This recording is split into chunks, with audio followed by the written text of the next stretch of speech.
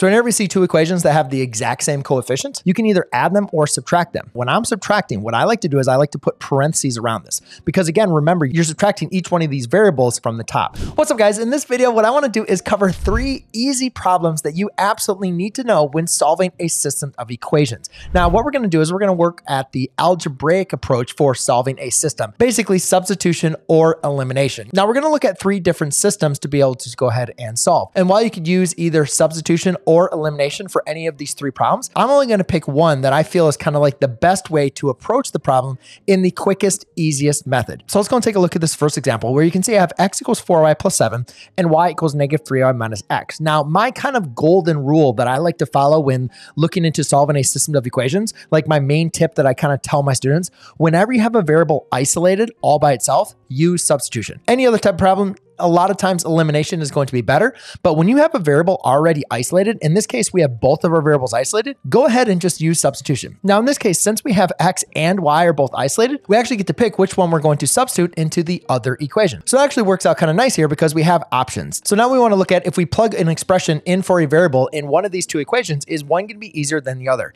And the only thing I can say is if I were to plug the expression 4y plus 7 in for x here, that might be a little bit easier because I'm just negating it, then multiplying by 4, which is going to maybe, I don't know, make the equation a little bit bigger. So again, it's really important to understand though, before we go ahead and do that, just exactly what substitution represents. If I say x is equal to a 4y plus 7, right? Those are equivalent. Those are equal to each other. So whenever I say x, I could also just mean 4y plus 7, right? They mean the exact same thing. So the reason why that's important is because when we're doing substitution, all we're basically doing is we're taking this variable x and we're just replacing it with the expression 4y plus 7. And again, we can do that because they're equal in value, right? Because there's that equal sign here, right? That x is equal to a 4y plus 7. Now, what I'm going to do is I'm going to plug the 4y plus 7 into the second equation. That's now going to give me the equation y is equal to a negative 3 minus. Now, again, it's really, really important that you do this is put parentheses around this. This is a big mistake that a lot of students will um, do. Whenever you're substituting in an equation, make sure you put parentheses because we're not just negating the 4y, we're negating the 4y plus 7. Okay, here's now my new equation with my x being substituted in for the expression 4y plus 7. Now I just need to go ahead and simplify and solve for y. So the first thing I'm going to do is I'm actually going to distribute this negative across my 4y plus 7. And again, just remember that's really a negative 1, right? So therefore I have a y equals a negative 3 minus a 4y minus 7. Now I'll just want to go and get my variables to the same side. So I'll add a 4 y to the other side. And now I can also combine a negative 3 minus a 7. And if you owe me $3, you borrow 7 more dollars, you now owe me $10. So therefore I have a 5y is equal to a negative 10. divided by 5, divide by 5, y is equal to a negative 2. Now again, remember, when we're solving a system of equations, we're looking for the x as well as the y that are going to satisfy both equations. So we don't want to just be solving for one variable, we need to solve for both variables. Now, the nice thing about having a system of equations where we have both variables already isolated is if I already know what y is, the next thing I want to do is figure out what x is. So I'm going to plug negative 2 into this top equation. You could plug it into the bottom equation, but then you have to resolve for x, which to me is like a little bit more work. So what I would just recommend doing is take this negative 2 and plug it in for y, because again, going back to this original understanding, like y is equal to negative 2, right? They're interchangeable from each other. So I can just take this top equation and say x is equal to a 4 times a negative 2 plus 7, right? So now I can just go ahead and simplify this. The 4 times negative 2 is going to be negative 8. Negative 8 plus 7 is going to be a negative 1. So therefore, x is equal to a negative 1. So therefore, the values that are going to satisfy both these equations is when x equals negative 1, as well as when y equals negative 2. And if you want to think about this graphically, these two lines, if you were to graph them, would intersect at the coordinate point negative 1, negative 2. So if you were thinking about this as a coordinate point, you could also rewrite this like that. All right, now in this next example, you can see that none of my x's or y's are isolated. So therefore, I'm going to focus on the elimination method. Now, again, you could isolate them, right? It's really not that much difficult to isolate a variable, especially in this top equation. You just subtract a y to the other side or subtract an x on the other side, and then you could follow the exact same process I did in the last example. But in this case, I think elimination is going to be the best. What elimination is doing, or also called like the addition or subtraction method, is basically just combining these two equations, right? So if I just go ahead and take these two equations and I simply add them, there's something special that's going to happen. If I take x plus x is going to be, that's a 2x. And if I take a y plus a negative y, remember this is like a 1 in front, right? So that's a positive 1 minus a negative 1, which is going to really be like a 0y is equal to a 10. Now, again, what happens when you take a zero times anything? Well, it's just going to eliminate it, right? It's going to be gone. So zero times y is just zero, and we don't really need to write that. So therefore, I can say a 2x is equal to a 10. So the reason why we call this elimination method is because when you combine your equations, either by addition or subtraction, your goal is to eliminate a variable. Now, this one was really easy and really basic because you notice that the variable had the same coefficient, right? Which was one.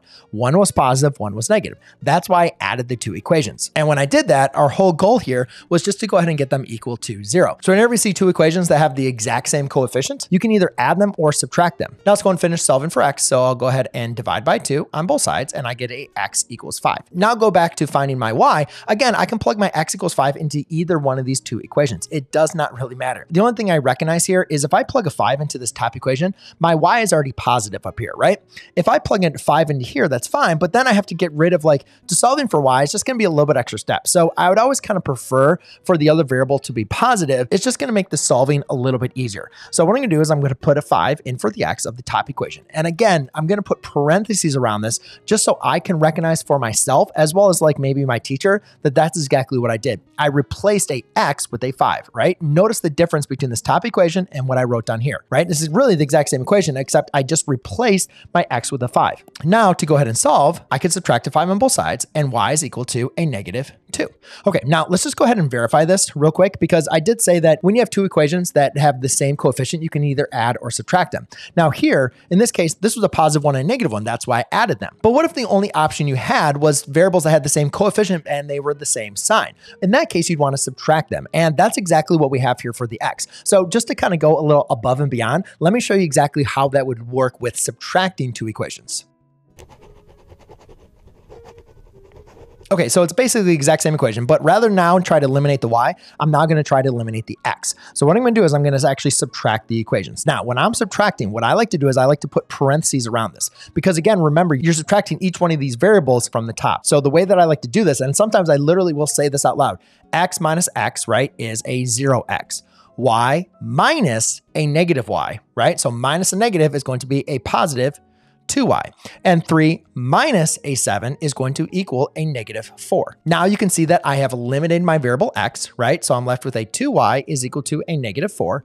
And then you can divide by 2 on both sides, and y is equal to a negative 2. And then hopefully you recognize that, hey, that's the exact same answer I had over here. But again, just to have a little fun, let's go ahead and plug that into the top equation to just go ahead and verify that's going to give me the correct answer, which I kind of already know it is, but that's okay. We want to make sure that we have everything good. So hopefully you can see that adding or subtracting for the elimination method works. However, I always prefer to do addition. So that's why I always like looking for either having a positive and a negative to be able to add. That's why I limited the y variable by adding them rather than trying to subtract the two equations. Because I think you can agree when you start subtracting equations, it's just more likely that you can make some mistakes. But again, look out for it. If you only have two variables with the same coefficient, then just subtract the equations to eliminate that variable. Now in this example, you can see that I have my variable x, which is going to be isolated, and it's now equal to 7 7y plus 6. So again, whenever my variable is isolated, I am going to use the substitution method. Basically, I'm going to replace my variable x in my other equation with the expression of 7y plus 6. Because again, x is equal to a 7y plus 6, right? But again, just make sure when you whenever you substitute in an expression in for a variable or a number with a variable, use your parentheses. So when I go ahead and replace my x with, a, with 7y plus 6, it's going to look something like this. I'm going to use parentheses 7y plus 6, close the parentheses, plus 21y equals a negative 18. And again, the reason why using parentheses is so important because I'm not multiplying a negative 3 times 7 or negative 3 times 7y. I'm multiplying a negative 3 times 7y plus 6. So again, I'm going to use these little lines to represent that, that I'm applying that distributive property. So negative 3 times a 7y is going to be a negative 21y. Negative 3 times 6 is going to be a negative 18 plus a 21y equals a negative 18. Now, something's kind of cool is happening here when I try to go ahead and simplify to solve for y. A negative 21y plus a positive 21y is just going to go to zero, right? That's a zero y. Therefore, I'm left with the equation of negative 18 is equal to a negative 18. Well, that's kind of odd. Like, how do we solve? There's no more variables to solve for. So what does this mean? Graphically, this means we actually have the exact same line, meaning we have infinite many solutions. It doesn't matter what value you plug in for x and y, it's going to satisfy both of these equations simultaneously. Therefore, our solution is going to be infinite many solutions. There we go, ladies and gentlemen. There is a foundation for solving a system equations algebraically. I hope this video was helpful for you. But if you feel like you're ready to go ahead and step it up to the next level, then go check out my next video I have for you here. Or if you just want some more examples, notes, or resources, then go and check out the playlist and links that I have for you down below. I'll see you in the next video. Cheers.